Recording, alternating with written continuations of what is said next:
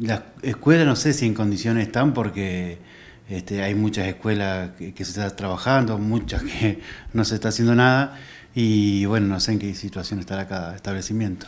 Y nosotros tenemos eh, expectativa, eh, nos pagaron la cláusula gatillo que este mes tenía que venir reflejada ya en el recibo de sueldo, digamos, no vino.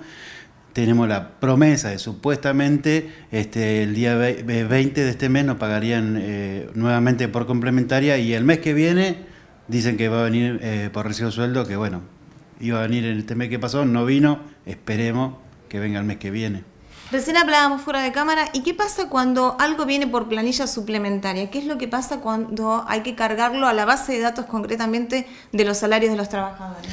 Y no, no lo ves reflejado, o sea, eso es lo que nosotros pedimos, que todo lo que nos pagaron por planilla complementaria anterior venga en este recibo de sueldo que no vino, entonces para poder verlo. Entonces si no lo ves, este, es como que no lo tenés.